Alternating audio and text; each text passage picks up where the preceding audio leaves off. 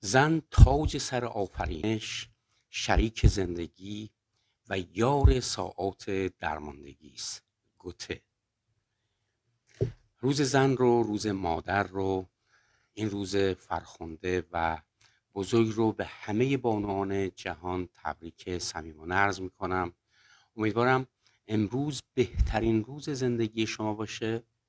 انشالله هدایای خوبی هم دریافت بکنید. بهترین هدیه هدیه است که خودتون به خودتون اهدا خواهید کرد. و اون اینه که بتونید به تمام ابعاد رشد شخصیت خودتون دست پیدا بکنید. روزی که شما بتونید در همه ابعاد شخصیت یک بانو یک زن رشد کنید اون روز روز تولد شماست. اون روز می‌تونیم بگیم به معنای واقعی روز زن خواهد اون روز شما فقط یک زن عاقل و بالغ و دانا نیستید که سرتون تو کتاب باشه مطالعه باشه فقط بخواید مطالعه کنید و از نظر دانش و علم و اطلاعات خودتون رو توسعه بدید. بلکه شما یک زن معنوی و روحانی هم هستید.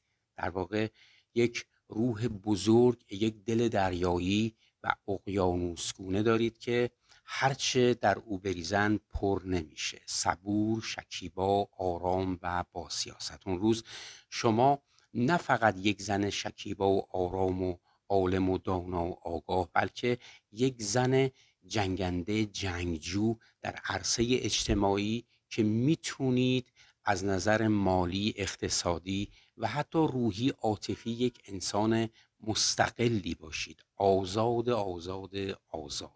بدون وابستگی. البته وابستگی در حد تعادل زیباست. همه ما به هم احتیاج داریم. اما محتاج انسان بد و نامرد نباشیم.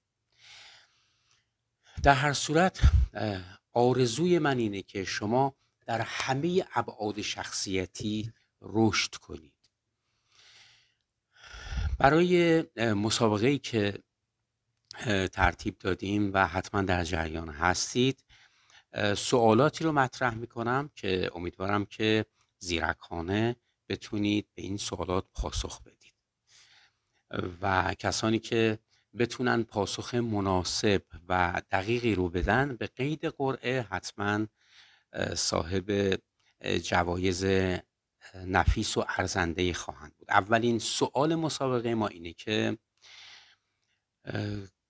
کدوم زن از ابعاد هفتگانه شخصیتی زنی است مدیر و مدبر و می‌تونه سایر کهن الگوها و archetype ها رو بالانس کنه و می‌تونه طوری رفتار کنه که سایر کهن الگوها به صورت متعادل عمل بکنن و به قول معروف پاشون از گلیمشون درازتر نکنن over نکنن و بیش از حد افراط نکنن. دومین سوال من در مورد زن هستیا هست. زن هستیا در چه مواقعی به فریاد انسان می‌رسه؟ اون لحظاتی رو که زن هستیا می‌تونه به ما کمک بکنه و به فریاد ما برسه به داد ما برسه اون لحظات چه لحظاتی هست؟ برای ما بگید به بهترین پاسخها جوایز نفیس و ارزندهی اهدا خواهد شد. روزتون مبارک دلتون شاد لبتون همیشه خندان.